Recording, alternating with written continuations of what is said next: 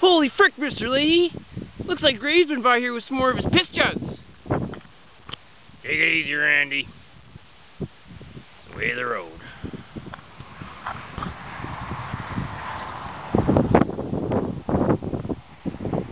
Guess when you're driving rig and rig all day,